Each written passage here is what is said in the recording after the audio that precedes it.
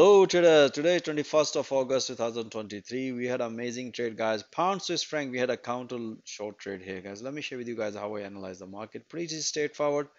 This morning and if you look ahead as that's what I explained my trader look at this is the area which we were looking at if you look ahead the price nicely respected here previously and we were expecting some sort of counter opportunity at this level.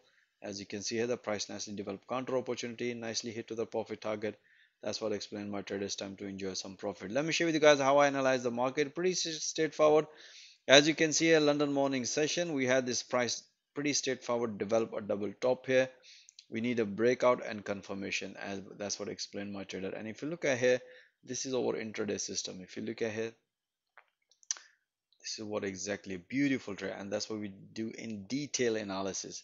You can see here the market broken after the breakout price retest. Give us the confirmation without even changing the color of the candlestick. And that's why bearish candle high probability trade and as explained my trader you know keep enjoying short trade here. And the target was previous high but the final target was this fib channel as you can see here.